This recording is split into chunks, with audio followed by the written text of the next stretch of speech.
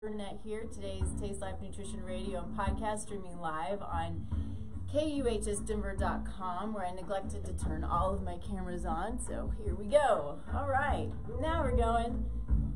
So we are excited this morning to have on Dr. Manna Semby, um, who is a specialist in women's health and specifically midlife women's health, which I'm like, yes, this is all about me. So we're going to talk about me today. anyway, thank you so much for being here. We're grateful to have you on and joining us. I am delighted to be here, ready to get into our conversation. Yes, me too. I'm so excited. I have uh, I have some fun questions for you. Well, at least I think I have fun questions for you. So, um, anyway, but as always, we start the show with gratitude. Gratitude can change the world. I truly believe that. I think it's a it's important for us to wake up grateful for whatever it is that we are and can be grateful for, and then going to bed for those things as well. Um, in, in, gratitude, I don't know. I think you sleep better when you go to bed in gratitude. I um, I like to my my gratitude are kind of like my prayers, um, also. So it's sort of a little bit of both. But anyway, what are you grateful for today? Uh, I am grateful for life in general. Life yeah. is good. Yeah. Life is full. Life is good. Friends and family and good times and um, great work. Uh, everything is good. I'm grateful for all of it. Yeah. yeah. I'm with you. Um, yeah, life is good. I, I'm gonna. There are a couple of things I'm grateful for this morning. One we talked about. So I uh, jumped on the highway this morning and got pulled over that was awesome. grateful for not have had a ticket in however many years it's been because he just let me off with warning. So super grateful for that. That that was uh, always always exciting start to the morning.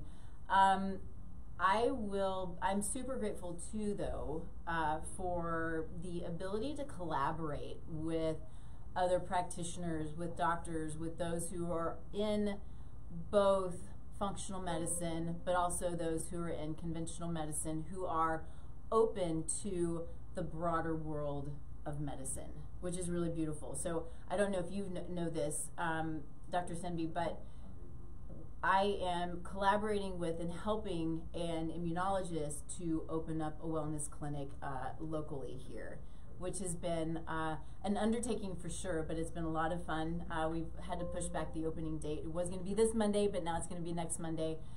Um, and he is, we connected on epigenetics, right? It's his thing, and it's my thing, and it's this beautiful thing. Epigenetics is, it's our God given gift of free will, in my opinion. I love it so much. Anyway, so those are the things that I'm grateful for. I'm grateful to be able to expand what I can provide and those who are out there who also want to expand their own knowledge and capabilities outside of what they already know.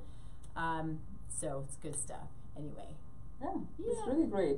Yes, it's really wonderful when conventionally trained doctors are also doing things mm-hmm. in a slightly different way from how they were trained Agreed. and kind of going into the whole comprehensive overview, holistic view of medicine. That's wonderful. Agreed. Agreed. So let's do this. Let's jump into our conversation, but starting with you. You know, give us a little bit of background on you, where you come from, what you're about, what excites you, what motivates you, what brought you here today. You know, so often, you know, I think especially those of us who are in healthcare in some capacity, often it's due to our story and so, what's your story? Yes, I have a story. I have a story.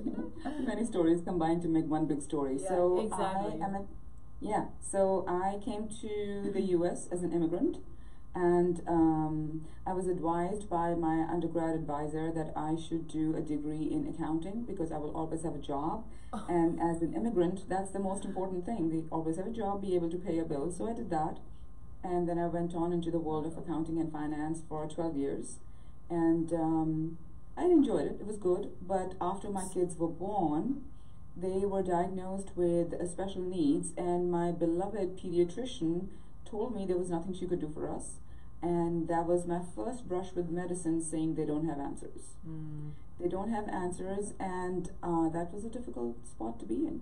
And there were other challenges in the family where um, we weren't getting the help that we needed from medicine. So that kind of opened my eyes to that there's got to be other answers, other ways to get solutions and the help that we need.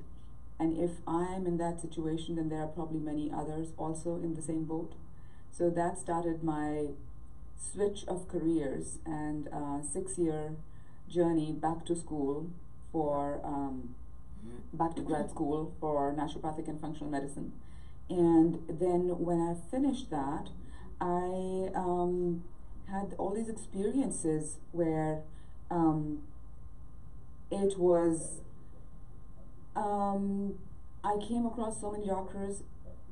Well, I'm skipping over a little piece, which is that I was diagnosed with breast cancer not too long after that. Oh. And then when I was diagnosed, I um, I learned again how, of course, medicine is doing great things, and especially when somebody is diagnosed with cancer. There's um, a lot of therapies that we can um, benefit from, but the doctors are many doctors uh, still have the same information about menopause and hormones. Um, that's like more than 20 years old. They haven't Mhm. updated their information, Mhm. which is very strange because these are people I admire and respect in many ways, Mhm.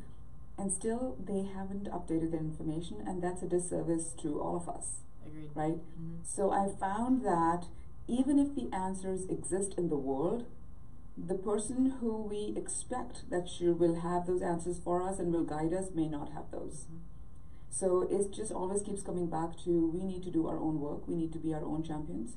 We shouldn't take no for an answer, and we should continue to look out for solutions that are going to be best best fits for us, for our families, and then I just extended that to my community, my work. Became really passionate about midlife health, about menopause, about brain health. All these are experiences that I had myself in my personal life, and so there is nothing more that gets your fire going, right? Like I have seen Yeah. this. Yep. I know what the experience is Yeah. like. If I've had this experience, other women are having this experience. Mhm. That's what got me all fired up for being so passionate about this stuff. Awesome. I love it so much. Yes, and thank you for that. I have a question. It's a little, well, I think it's on topic, but I'm really curious about your opinion on breast cancer being estrogen, and I know not all of them, but estrogen mediated, right? And so there is the uh, the treatment, the opinions today that breast cancer you have to lower estrogen, or you have to stop estrogen altogether, right? Um, but I believe there's more to it than that. And if you if that's something that you're comfortable talking about, what your thoughts are on on that specifically. Yeah, so breast cancer, as you mentioned, can be, there are many different subtypes of Mhm. breast cancer, right? There are estrogen positive, progesterone positive, HER2 negative, or HER2 positive. So you can be all positive, all negative, or a combination thereof. And then, of course, there are other types as well that are much more um, invasive and malignant. So we have to be very careful about making sure we know the profile of the cancer that um, we or a loved one has. And um, yes, there this is an area of uh, considerable debate Mm-hmm. about if you have hormone positive cancer, um, should you stop your hormone therapy? And uh, what are the, how do we know what is the right thing to do? And there are divergent opinions on this. On one hand, we are very clear that we do not want to give hormone therapy to people that have hormone positive cancer. On, on the other hand, there are oncologists, breast oncologists, who feel comfortable um, prescribing low dose hormones to people that have um, hormone positive cancer or have a history of hormone positive cancer and just monitoring them much more closely, right?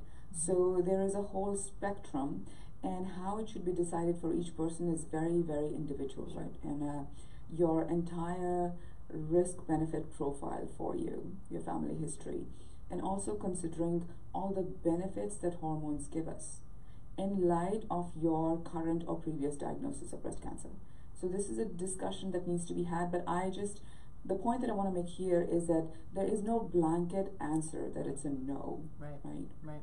If this is something to be discussed, this is something to be researched, and I I do know that um, more and more research is being done on this topic.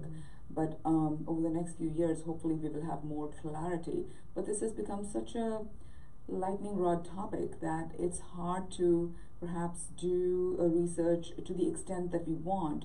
And ideally, we would have this research already, but I think it's still underway. Mhm. The bottom line is there shouldn't be a blanket no. It should be discussed with your doctor and discussed with somebody who's comfortable talking to you about it, who doesn't, who hasn't completely closed their mind to it. Right. Agreed. And I think that what often um, is missed are all of the other factors that can have the potential leading to this situation in the first place, right? Sure, genetics, epigenetics can play a role in it, but what what is it? And we may not always know, but we want to dig as deep as we can to understand what are the top what's the toxic load, right? What's your lifestyle look like? What's your stress look like?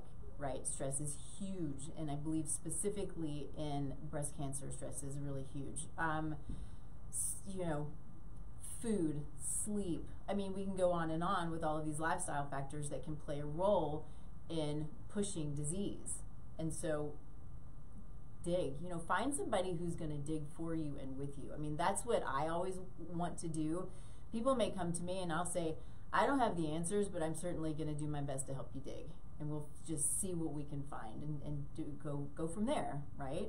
I Yes, there are there are a number of specialists out there, but you do have to look for them and you have to find them. And the best thing is to go through referral. Ask your friends who they have seen, friends of friends. However, you can get this information. Yeah, agreed. All right, so let's talk about what we were supposed to talk about. I always like just whatever comes to my mind. Like, let's talk about it because these are these are important things to understand. You know, cancer is a scary, scary diagnosis, but um, has the ability to be managed, in for the most part. So look for those who can help you. Now, as far as moving through life for us as women as we go through these changes and start to go through perimenopause I, let's let's maybe just start there. Um, you know, a lot of these questions that I'm going to ask, I believe, I'm, are coming from my own perspective um, and my own experiences. I'm grateful to not have a lot of symptoms, but the things that so many of us, and you say this on your website, I have been on this soapbox for a little while, and I think we talked about this a little bit early on, but we don't know anything about our bodies as, as women. We don't talk about this stuff. We don't talk about um, what what it could look like as we move through these changes. When we start to move through these changes, and you know, people can start moving through peri and moving into menopause, perimenopause. Sorry, forties. Yes, even earlier potentially. Yes. Yeah. Yes. So, um, so the average age of menopause is 51, which means you have your last period at about 50.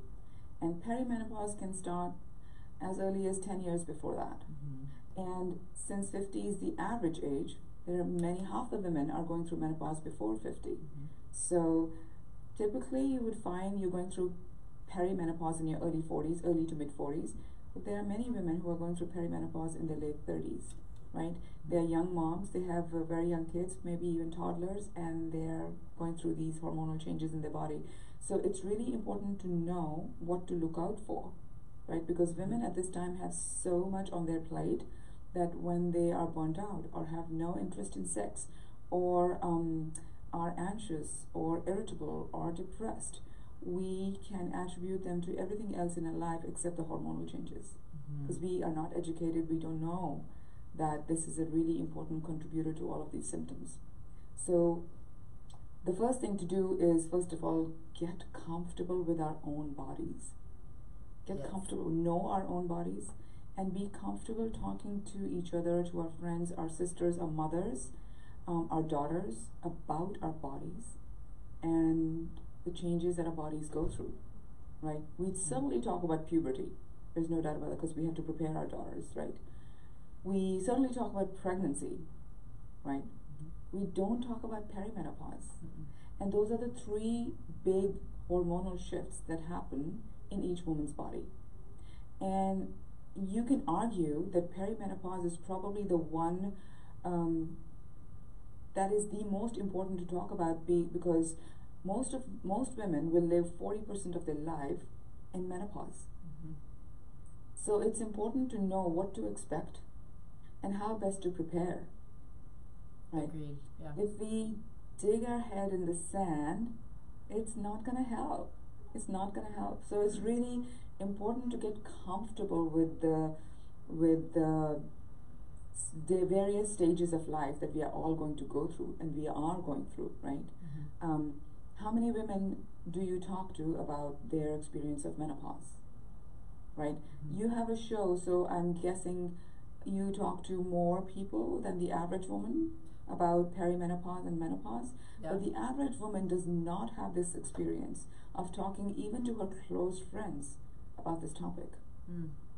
It is still a taboo topic. Even amongst women, we don't want to talk about it because the perception is that we are losing something and we are, um, we don't want to do that. We don't want to Mhm. lose our youth. We don't want to Mhm. lose our, um, you know, our energy and our uh, fertility. And all of that is happening. So we're kind of turning our face away from that. Mm-hmm. Or what we instead need to do is actually turn towards it and see what is really happening Yeah. so we can be better prepared. Yeah. Yeah. So, what are symptoms? So, you, you, you hit on this, and I have a a friend of mine in a friend of mine in mind right now. And one of those things. So, I wanted to talk about the symptoms, go into a little bit of detail with the symptoms. But one of the things that you taught that you hit on was depression.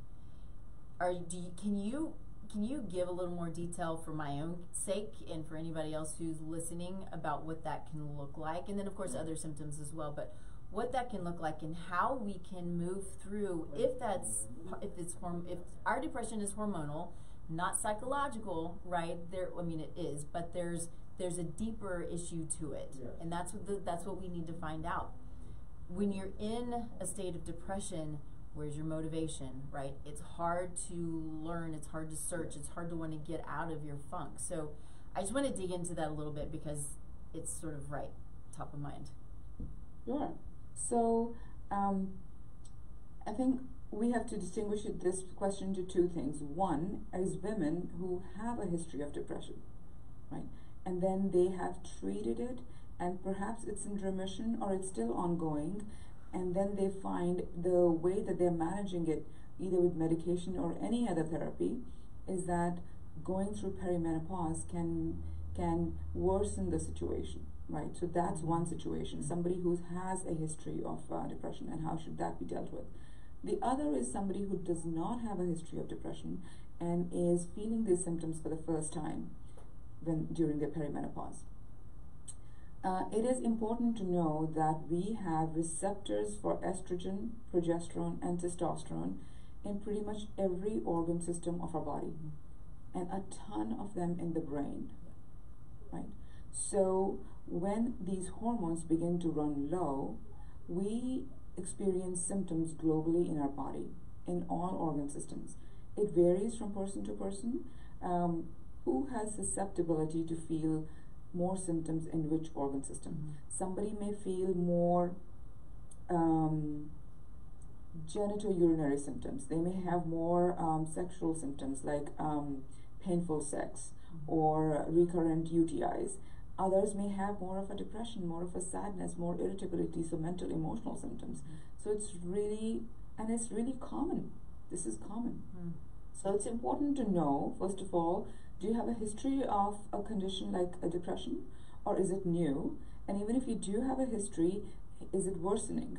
Right? So it's really important to keep close tabs on how you're feeling and be able to delineate if this experience is additional to your um, general mental emotional state.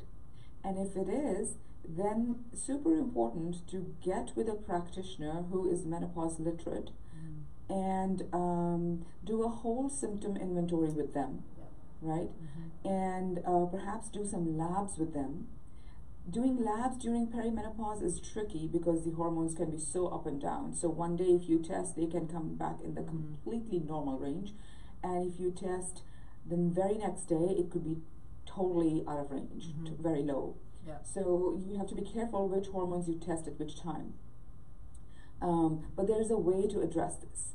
So if you work with the right practitioner, if you keep close tabs on your symptoms, um, there is a way to address this whether you do um, supplementally, you know, you start supplementing with some herbal supplements or some nutrition, which can be helpful Mhm. in getting you back into balance, or just eating more estrogenic, progesterogenic foods um, that can naturally boost those hormones in your body, or perhaps doing hormone replacement therapy, depending on what is right for you Yep. and what are the levels in your body and what is the extent of your symptoms.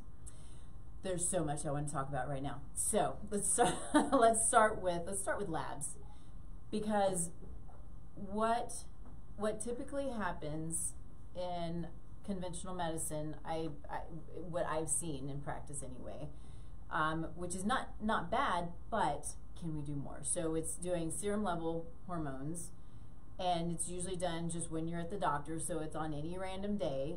And so, especially if you're not having periods and you- you're going through perimenopause, your hormones are going to be all over the place, right? So, just doing them on a day and doing serum levels may not really give you. I mean, you said this, but just kind of expanding on it a little bit. You know, may not give you really what it is that you need as far as understanding your body, your hormo- hormones, where you are then I'm curious what your thoughts are. So I'm so there are urine tests that we can do um, that I do a lot, and I'll do month long urine tests.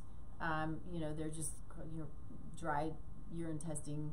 Anyway, that can give us an indication of what's going on, especially for younger women who are like you want to get pregnant, you try to you want to see where your your hormones are. It's called cycle mapping, right? You can do that. So what I'm curious about and what I believe to be the case is doing cycle mapping for women going through perimenopause or to see where you are in your cycle is also beneficial. Would you agree with that? So, cycle mapping is one way. Okay. Cycle mapping is one way, and now there are newer labs Okay. that are doing cycle mapping um, with uh, more updated uh, kinds of metabolites that they're testing for. Okay. And so, yes, you can do the dried urine cycle mapping, and there are a couple other new companies that I have worked with with which you can test. So, for women that are still cycling, and if they have a regular cycle, if they still have a 28 day cycle or a 30 day cycle, as long as it's still regular in the number of days, we can estimate when the progesterone should peak. And we generally try to test in that date range. Mm-hmm. So if it's a 28 day cycle, we'll generally test between days 19 to 21. Right. But many women in perimenopause are not having a regular cycle. It's varying from one cycle to the next. So we cannot predict what day it is that your progesterone is peaking, and it's hard for us to then. In those cases, you can either do cycle mapping or you can, what I prefer to go by is certainly cycle mapping gives us a lot of information. We can kind of see how their hormones are um, fluctuating through the month, right? Mm-hmm. But the most important thing is symptoms. A patient's report of their own symptoms is the most important. And then the other thing I might do is check their FSH levels, Yep. their follicle stimulating hormone levels. So as as we approach menopause, the level of this hormone begins to rise in our body, right? And this is a more um, reliable predictor of how close you're getting, right? In addition to the symptoms. And I think cycle mapping is a good accessory to test also. Sure. So you can use any of these ways, a combination, one or all of them, to confirm where somebody is and then suggest what would be the right thing for them. Awesome. Very good. Um, I did have another question, but it left me. So let's talk about. Let's talk about. I mean, this is okay. So I want to talk about brain health, and I want to talk about it. uh, In, it for me specifically, there are a lot of things to talk about, but when it comes to our potential for dementia and Alzheimer's, right? And so there's, you know, I'm kind of just jumping straight in, but what I what is, you know, there are certain variants that can increase our risk factor for Alzheimer's, right? And so I'm an ApoE44, which is pretty not great. but the beautiful thing about understanding your body and understanding your labs and understanding your genetics and your variants and all these things is, you know, when we're looking at your specific variants, when we know what they are, we know how to mitigate them. And that, you know this is this is again going back to epigenetics and and the how this you know this is free will to the highest degree is I can make the decisions to the best of my ability to mitigate any risk, it, at least as much as possible, mitigate the risk that this is something that happens for me, right? I study it, I research it, I look into it. I find people who know more than I do, which is a lot of people, and helps me to do the best that I can for my own risk factors. And so I believe that to be the case for everyone. Not everybody wants to know this, but I think it's important to know when, when we can. So when we're looking at moving through perimenopause and on into menopause, where the potential for these signs of dementia, these signs of Alzheimer's can start to peek their nasty little head when really is it really is more hormonal dysfunction or dysregulation as opposed to true dementia, Alzheimer's. Um, would you agree with that? And feel free to expand. yes, so this is a big topic. Um, ApoE44 certainly means that you need to be more on top of your um, making sure you are doing everything you can in a more proactive way. Actually, everybody should be proactive, but certainly ApoE44, um, there is data that suggests needs to be more. So no wine, no alcohol. Mm-hmm.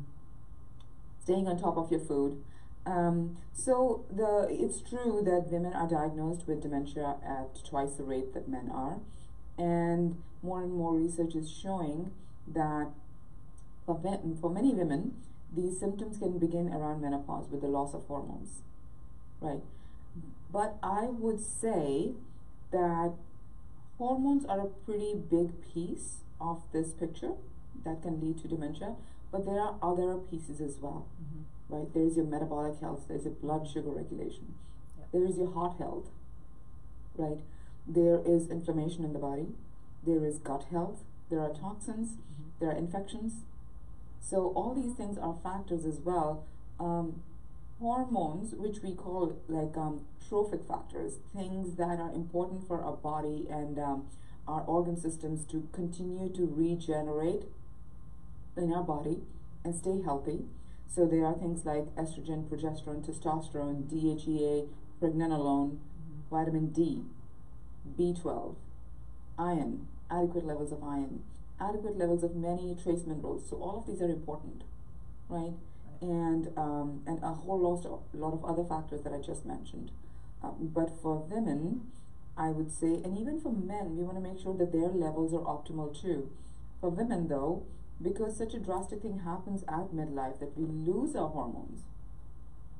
And then um, the average age at which a woman is diagnosed with um, dementia is 72. We know that changes in the brain begin to occur 20 to 30 years before the diagnosis is made. And it's to me, it's clear what's happening in a woman's body 20 to 30 years before they're 72. It's mm-hmm. perimenopause mm-hmm. and menopause. Mm-hmm. So it's really important for us to be educated on what are the risk factors, what are the various risk factors that lead to a decrease in our cognitive ability, that lead to a diagnosis of dementia.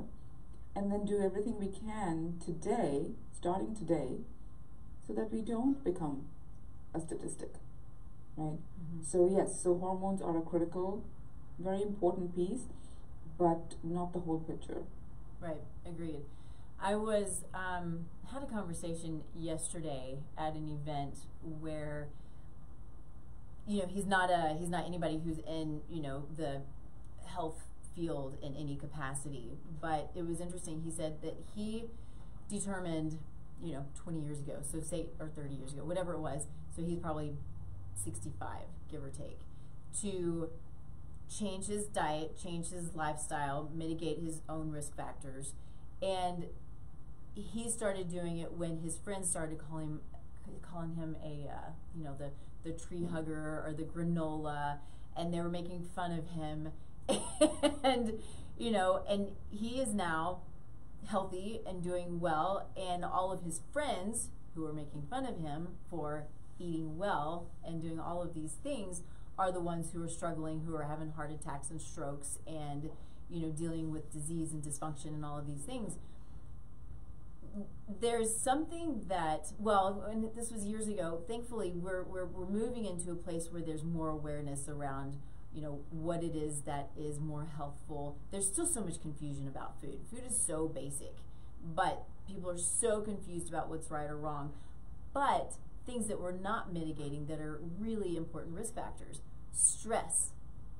Stress is so big, right? I mean, stress is like at the top, but what we don't under, what, what we don't usually think about is we have stress, but inflammation creates stress, which is going to create more inflammation. Disease creates stress, which is going to create more disease um, lifestyle, you know, toxins create stress, which is going to create more issues, right? So we can go on and on. It's not just about work stress, relational stress, financial stress, which those are big big stressors, but understanding this this um, downward spiral that happens when we are dealing with these other physical stressors as well, and then if we're not addressing the infection, the toxic load, we don't know it's there, we don't realize it's there. It's pretty much always there you know addressing those things that are creating just that you know i see it as kind of that little uh, grass fire that just sits there and just perpetuates and it spreads and spreads and spreads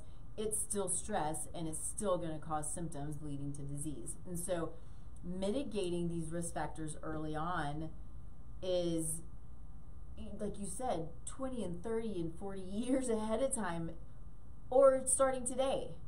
You know, just start now so we can, you know, as my conversation went yesterday, it's not about how long we can live. Yes, we want to live as long as, I mean, I think most of us want to live as long as we can, but it's about living fully and well and upright and not in a wheelchair and fully functioning cognitive abilities until we're no longer here because that's going to happen. It's just part of life, right? but living well for as long as we're here. Yeah. Yeah, absolutely. So we call this foundations of health, mm-hmm. right?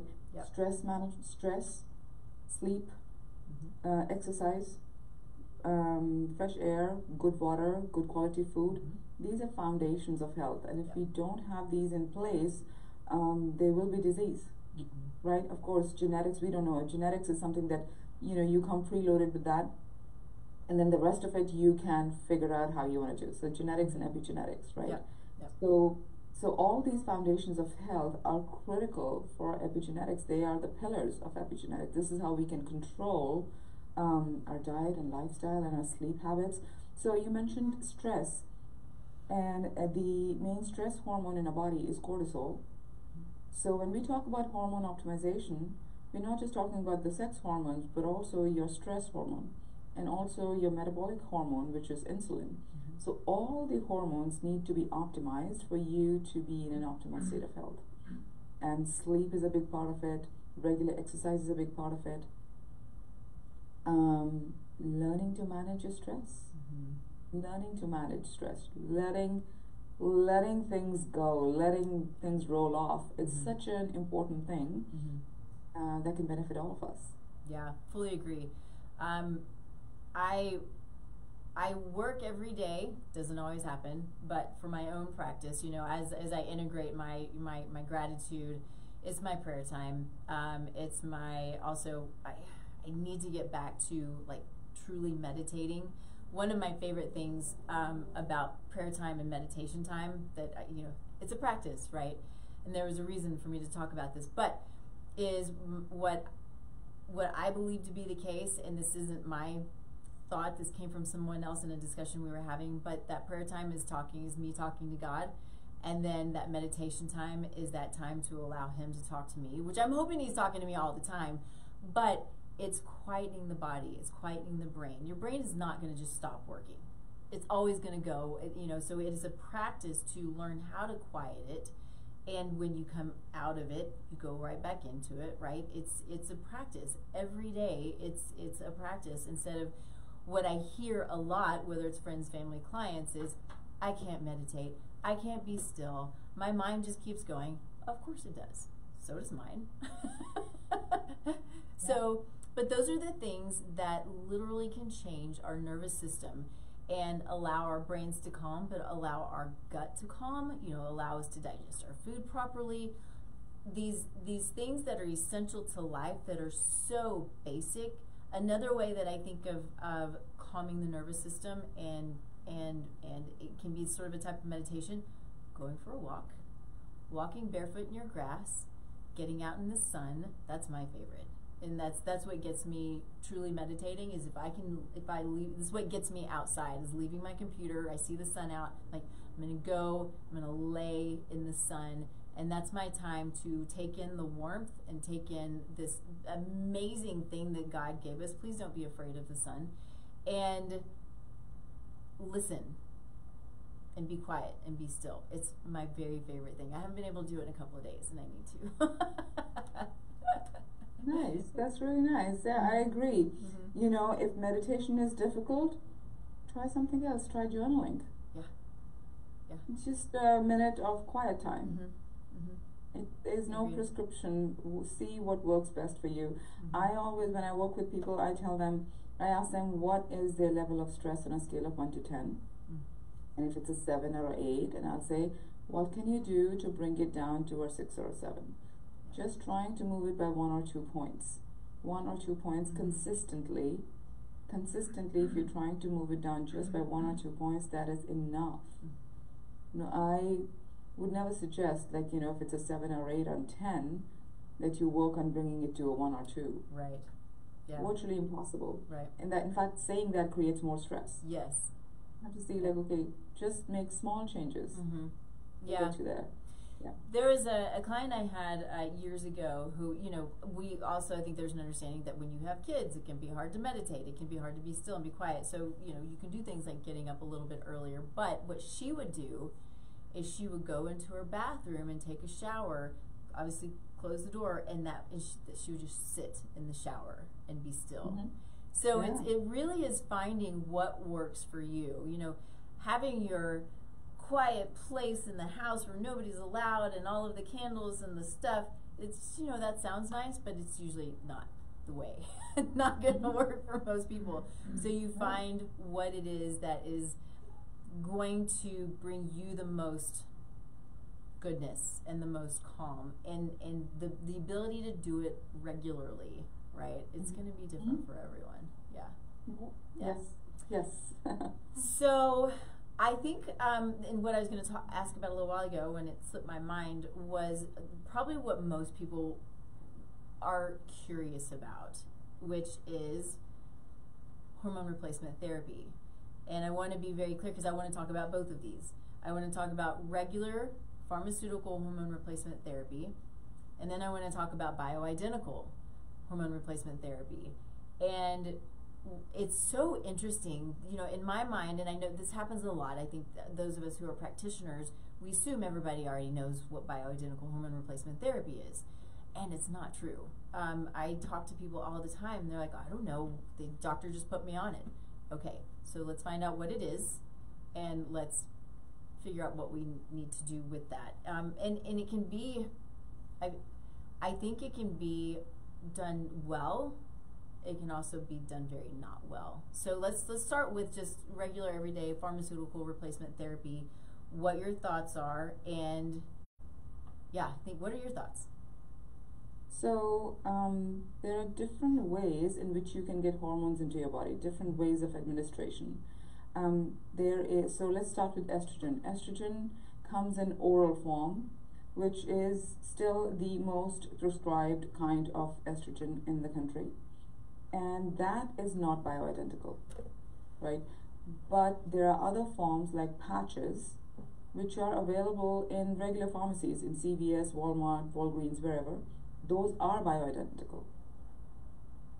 So, um, what research has shown that the application of estrogen through the skin is more beneficial than taking it orally. So, whether you take it through a patch, which is available through most pharmacies, pretty much all pharmacies, and it is bioidentical, and insurance will mostly pay for it, which is great. Um, and of course, then there are these compounding pharmacies that create creams right, that can have different uh, varying levels of estrogen and um, estradiol or estriol in them, and you can control a little bit more about how much uh, you need and if you need to vary those levels. But the patch, which is conventionally available in the pharmacies, is bioidentical. And the difference between bioidentical and non bioidentical is that the molecule which is in the bioidentical hormones is identical to what we find in our body. It is still made in a lab. It is made in a lab, but it is identical to the hormones that are found in the body. The oral estrogen that we take is a conjugated equine estrogen that is not identical to what is found in our body. And I don't prescribe the oral estrogen. And if people that come to me are on oral estrogen, I make a case for why they should switch to a skin application, whether it is a patch or cream. For progesterone, you can apply it through the skin or take it orally. If you take it orally, uh, what happens is when it goes through your gut, through the liver, it creates these metabolites that are very calming. So it's almost like taking an anti-anxiety medication without taking an anti-anxiety medication.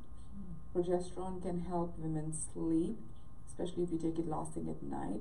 It can help you relax, calm down, and have a really nice, full, long sleep.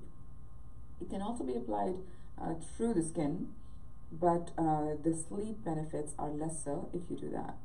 And then testosterone is a totally different thing. So, so just basically the difference is simply what is found in our body and when the molecules are same as that that's bioidentical great. And it is um, preferred. It i prefer to use bioidentical and we can get estrogen and progesterone which is bioidentical at regular pharmacies which is a great thing. Mm-hmm.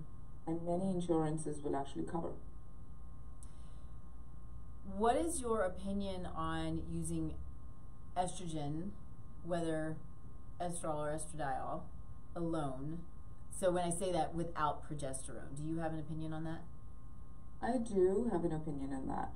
Most doctors will say if you have a uterus, you should be taking progesterone as well. And I agree. If you do have a uterus, you should be taking progesterone, not just unopposed estrogen, because then you're building up the lining of the uterus and now you're not taking care of it. So it's important if you have a uterus to be taking progesterone and estrogen.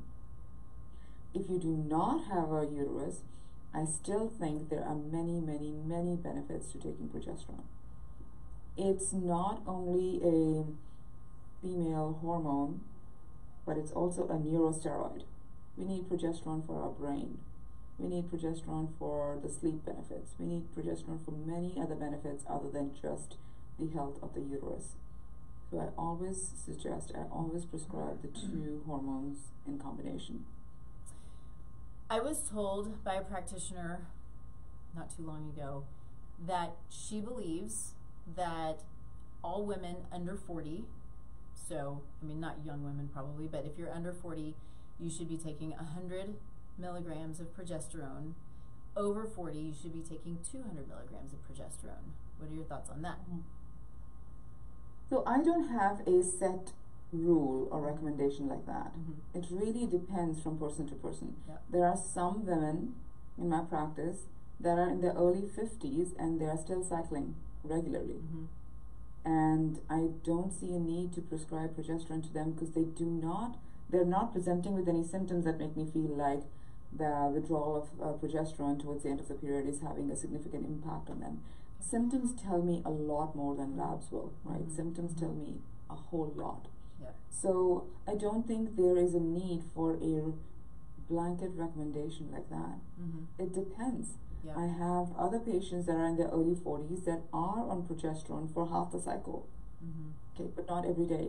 And I start them on 50 milligrams. Okay. I don't start at 100, depending on. So I really have to see mm-hmm. where each individual is and what is their need, right? And then we titrate depending on how well they're doing. Mm-hmm. And that's the whole point of personalized medicine. Right. It's like we are not just saying you have this problem, take that. Mm-hmm. We're saying, okay, these are the symptoms you're presenting. This is a recommended way to go about it, but let's try and really cater to your symptoms and make sure we come up with a solution that is totally personalized for you. Right. Um, some women need the higher estrogen, the 200. Some women don't need the higher, um, sorry, the higher progesterone. Mhm. Some women don't need the higher progesterone. Um, it is also, it can take some time to get to the right levels of the hormones for women. Because sometimes when you start a woman on uh, hormones and she hasn't been on any for a few years after menopause, she can have some spotting, she can have some bleeding. We need to keep close um, tabs on those symptoms. We may need to reduce the dosage of the estrogen. We may need to increase progesterone. It all depends. So in the first few months when somebody starts hormone replacement, it's very important to stay in close touch with your practitioner so that your levels can be really optimized to where your body needs them. And um, whether it's 50 or 100 or 200 or even higher, sometimes you need higher. Mhm. So it really depends on your situation, and your situation can change from time to time. Mhm. If you're under high periods of stress, you're probably going to need more of those hormones. Mm. So transiently, you may need more, and then you come back when the stress goes away. Then you can come down to your normal, regular levels. Very good. I love that. I want to ask a question, kind of going back to the depression. Is there? Do you do you know? Do you see the one or both of the hormones that if they're dysregulated being more of a of a uh, an issue with depression, or do you think it's just a combo and just depends on the person? So the first thing that I'd like to say is that, you know, the re- there may be a reason that you are depressed. There may be situations, there may be conditions, there may be work, relationship, all kinds of things, right? There, there, there may be a reason for you to be depressed, or there may not be a reason, depending on it can vary Right. from person to person. Yeah. So what I would say is that um, what hormones do, in my experience with all the women that I've been working with, is that you know they obviously externally don't change any situations or circumstances in their life, but what they do is that they give our resilience back. Mm-hmm. They give us our ability to deal with stuff back, Mhm. right? So that's one thing. The second is like which hormone is um, you're asking me which hormone is more um, helpful if there are symptoms of depression. I would say bringing estrogen progesterone in balance. For you Mm-hmm. is critical, Mm-hmm. right? And then testing to see do you need testosterone? Very important hormone for women as well. Mm-hmm. So it's a combination of those three, figuring out, you know, and then we want to make sure there are no imbalances, there are no nutritional imbalances that can lead Mhm. to symptoms of depression. Making sure you have enough B12, enough D, enough um, the right uh, ratios of um, copper and zinc and other trace minerals that we need to have in our body. So, um, so yes, I would say that it's a combination that needs to be uh, titrated to you specifically. Yeah, two things with that. Um, you're talking about the nutrients. So many people are on prescription pharmaceuticals, whatever that looks like, and they often can deplete our nutrients. And so, is that leading to symptoms, right? If you're if you don't have the nutrition, if you don't if you're not if you're not utilizing the nutrition from your foods, if you're not supplementing what's being depleted, then it can lead to all kinds of symptoms, you know, including depression, but including hormonal dysregulation, right? And, and then you know there are so many other things that we could talk about, but understanding that taking pharmaceutical drugs can well, and I think that even I I would imagine that even things like ibuprofen, right? All of these things are going to deplete you. So know that, be aware of what you're taking, and then do you then need to support your liver function? Do you need to bring in other nutrients? Do you need to, you know, you know, take good supplements? I I love supplements. I supplement therapeutically. My goal is for people to not have to be on long-term supplements, but we've got to, you know, exactly what you said. It is always dependent upon the person, but having the awareness that whatever it is that's going on in your life and what what you're doing has the potential potential of doing uh, you just need to balance that, right? Right. So I'm not saying you shouldn't take drugs, right? They're they have their time and their place, but know what's going on with them. Um, and with that being said, you sort of segued beautifully into testosterone. I would love for you to talk a little bit about testosterone when it's appropriate, why it's appropriate, is it appropriate, uh, and uh, because I think it's I think the whole testosterone thing is fascinating. I think that we've got to be really careful. We've got to be careful with all hormones, right? But uh, it is a fascinating topic, so I'd love your opinion. So the first thing I want to say is you know, this thing about testosterone being the male hormone, and it's called testosterone because it's produced by the testes and all that stuff. It's like, you know, as uh, humans, we've done a lot of disservice by choosing names and words that label things a certain way, and then for generations to come, we think that why well, it's a male hormone. Well, we produce testosterone in the body first. The men produce testosterone 1st mm-hmm. and then we convert it to estrogen right? When we are young, the amount of testosterone in our bodies is higher than estrogen. Okay, and then of course over time it grows lesser. And then when the ovaries shut down production of these hormones, the adrenal glands continue to produce testosterone for the rest of our lives. Um, in the light of modern living, it may not be enough. It may not be enough. So, what how I work with women is uh, I first get their estrogen and progesterone balanced, and I like to have them in a balanced state of those hormones for about three months. Then I check their symptoms to see how are they doing, right? Uh, what is their energy level? What is their ability to work out and build muscle? How is their sex life, mm-hmm. right? Um, and I will test their levels for testosterone. And if there is need based on the symptoms and the testing, then I will start them on a low dose, mm-hmm. right? And uh, continue continual monitoring to see what are your symptoms. Do you notice changes? If you need to go up, mm-hmm. we do. But then there is a sweet spot for most women where they get to and they say, okay, I feel great. I feel great in my energy. I enjoy my workouts. I see I can build muscle again. Because mm-hmm. remember, as you get older, sarcopenia, muscle loss, mm-hmm. is a real concern, and we want to make sure, especially for women, we want to make sure we are building our muscle mm-hmm. to the extent that we can.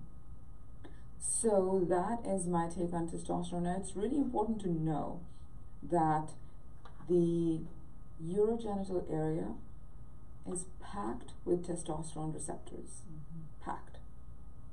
For sexual health, we need testosterone. Mm-hmm. Okay.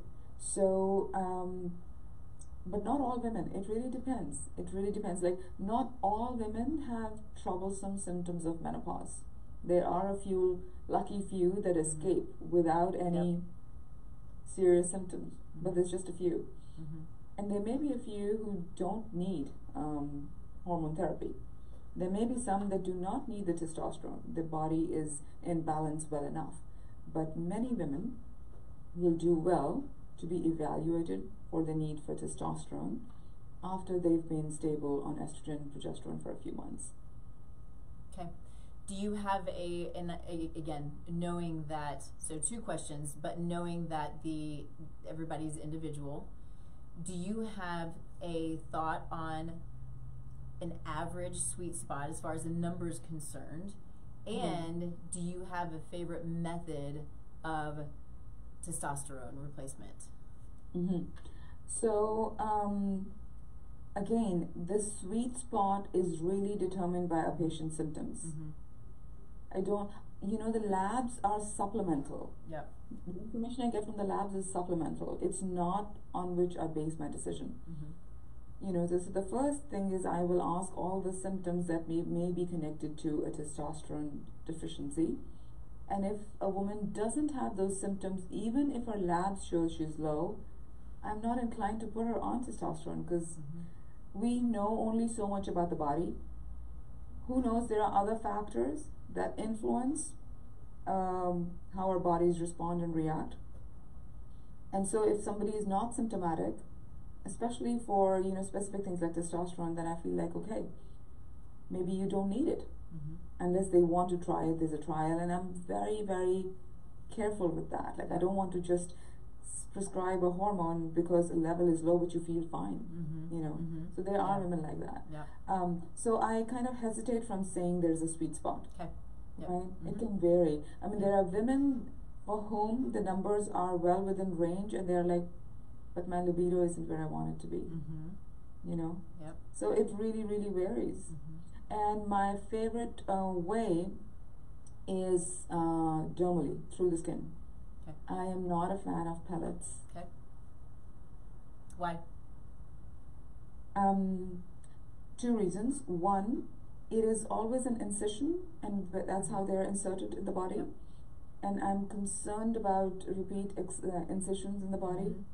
They can, you know, if somebody is not careful, there can be infection. Mm-hmm. There could be problems, cellulitis, things like that. Mm-hmm. And the other is you get a big bolus right when you get it, Yep. and then it kind of trails off. Mm-hmm. I like a steady state. Mm-hmm. And so, with the application that you're doing every day, yes, it's a bit of a thing to stay on top of because you have to apply it every day. But you are maintaining a steady state much better Mm-hmm. than you can do with a pellet. That makes sense, and I would imagine you're you're more able to track your own symptoms, so it gives me control over my body. If Right. if w- whatever I'm experiencing, I can increase or decrease depending upon what I'm experiencing. Right, So, yeah. exactly. Yeah. Yes, you can. That's Mhm. great. Very good. Well, this has been such a fascinating topic. I'm so grateful that you joined us. Thank you so much for being here and all of your big brain stuff. I love big brains. So good. Thank so, yeah. Go ahead. Go ahead. Sorry.